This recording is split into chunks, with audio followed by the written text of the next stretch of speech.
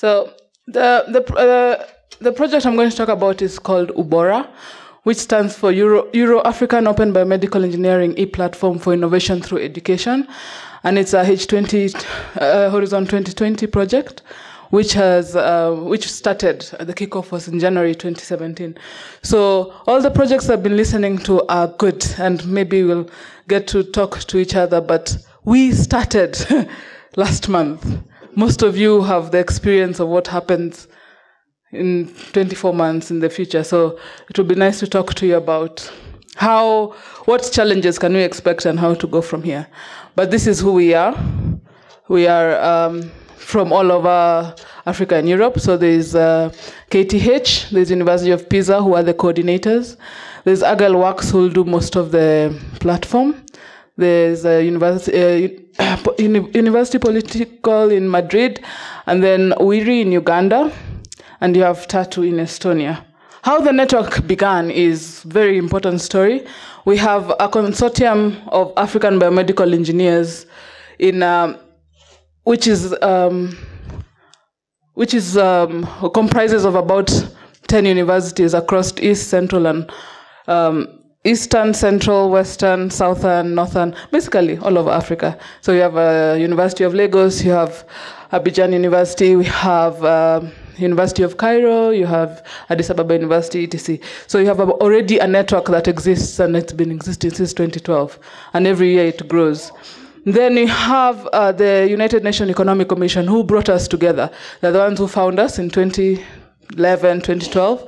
They developed a generic curriculum because biomedical engineering was not that well known in Kenya. They developed a curriculum, they gave it to us and said, do it. so some of us did it, some of us did not do it. But from that, we got to know each other. We got to know the needs we have. What needs does Nairobi have? What needs does um, South Africa have? What can they give us? What can we give them? So from this interaction over and over again, and the main point of where we used to meet was uh, having meetings and doing summer schools. The summer schools were a place where you'd get students from all these universities, and there was an innovation competition. Within the year, they'd carry out a project, they'd win the competition, and they'd come to the summer school for a week. From these summer schools, you get to know what the needs of each individual country is. So what did we find? We found that medical devices need to be available, robust, and of high quality and sensitivity. Yes, that's true, but well, to provide devices that are simple to use and maintain and repair, but also are high quality, sensitive, and robust, it's very, very difficult. And to provide uh, for the medical needs of the continent at a reasonable cost, that means I want a device that if I put it in the middle of North Africa where there's a lot of dust and it's hot and there's no electricity, will it function? So, what are we going to do about it? We want to see if we can make uh, something that will not rely completely on computerization and a steady power source. Very difficult. Heat, uh, dust, as I mentioned, built built in memory because sometimes the power can disappear for a week. How are we going to do that? uh, inexpensive, so uh, withstand difficult environments, rel- unreliable power. Devices do not need specialized servicing. All these things to accomplish all these things requires collaboration, requires networks, requires a lot because sometimes accomplishing the impossible it's not as easy as it may turn out to be. So that's why we uh, we wanted to go through this route. How do we then overcome these needs and develop devices in Africa? So since 2011, there's been there's always been a way of us to apply for grant, publish a paper, to see how we can communicate this to the world.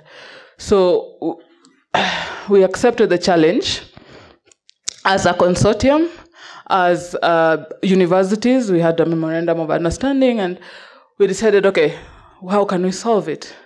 So there's been many projects over the years, but the one I'm going to talk about today is Ubora. Ubora in Kiswahili means excellence, and it's an open source co-design of new solutions to face the current and future healthcare challenges of Europe and Africa. Now, because we have a strong there, there's already a strong network and collaboration and medical device industry in Europe. There's already the uh, willpower and the, uh, how do you say it, enthusiasm in Africa. How do we put this together? Exploiting that network, the knowledge of rapid prototyping, new ideas, sharing of safety criteria, because okay, I can decide I want to make an ultrasound machine and I make it. So what happens? Kenya, there's no body which claims to regulate. Everyone wants to regulate, everyone. So it's not really standardized, yes. So I can use the EU one, but you see, with this network and platform, then we can be able to do this. So it's basically um, all these uh, partners will design something. From the summer schools there'll be designs coming out. From the competitions there'll be designs coming out. So the needs and the design projects will be what is keeping it going. So prototypes will be produced. We need more funding to continue make it go on because this project is only 30 months. You need to think about marketing. And medical devices marketing is not a matter of putting it in the shelf or standing in the corner saying hey buy buy. You have to go through a lot of processes. So We'll have uh, the main point is to have two design competitions. From the design competitions, the people, uh, the students and the staff will be taught prototyping, testing, safety.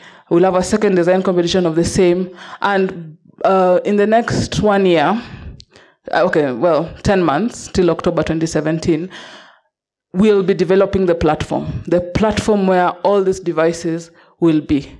So in the next six months, all the partner universities you see, they have to come up with a, a design that actually has passed all the safety and regulations, the EU ones, the ISO ones, and then that will be the one that will be tested in the summer school to see if it works before it's available to the public. By the time we have the second summer school in February 2018, we'll even have more designs. From those designs, we'll be able to now find out if our platform works, and then now it will be available. And from that time on, all these designs will be available openly to people who want to develop medical devices. Now, you have to be very careful. We have to be very careful about um, if I want to share my medical device, what have I tested it on? So we're trying to limit it to non-invasive ones for now. So that if i take your design and then who am i suing? Am i suing the person designing or am i suing the person who took it or what happens? The thing with medical devices is very difficult but we have to start. Why do we have to start? Because we want people to learn that we can we can uh, we can build a device system in africa. At the moment there is not much that is being done there's also this idea of solving, uh, problem solving skills. Our students, our engineering students, when they graduate, some of them, if you ask them, they'll tell you, I already have know what I'm going to do. I'm going to build an app and become a millionaire. You're like, but your engineering skills, how do you solve a problem without thinking about, oh, it's hard, it's going to be difficult? So these design schools are going to build that capacity of problem solving skills, encourage interdisciplinary skills, teams. When I was when I came back to Kenya after being away for a long time, I realized if I go to school of medicine and I say I'm an engineer, they'll be like, "What are you doing here?" If if um, like if I go to the school of engineering and say, "Oh, by the way, anyone who is any engineer can decide to do biomedical engineering as a master's," they'll be like, "No, that's impossible." Because if you do mm, uh, uh, uh, bachelor's in masters, you have to do ma- bachelor, bachelor's in mechanical, you have to do bachelor's in uh, master's in mechanical. So it's that mindset of interdisciplinary uh, ideas. Uh, stimulate creativity, encourage entrepreneurship, and inculcate the desire to seek information, encourage students to think about the end user, the market enhance technical and engineering skills of students, build and stimulate the entrepreneurial com- competencies, encourage multidisciplinary and multinational strategic teams, and instill skills. So, at the end of the 30 months, what do we envision that will be our, our success story? New methods in education, which is very important, innovation, harmonization, healthcare improvements, new economies, and most importantly, growth. Thank you very much. You can visit our website for the consortium, which is ABEC Africa, and the Ubora has a website as well, which is Ubora Biomedical. Not the final platform, but as a start. We are we're in month one, and I think we are doing quite well. There is a design competition is open. It's it opened this last week. It's going to be in Kenyatta University in October 2017. However, it's only it's only open to partner students, but it would be nice to talk to you about it. Anything you can change, anything you can bring onto the table, any lessons you learned will be very beneficial to us. Thank you very much.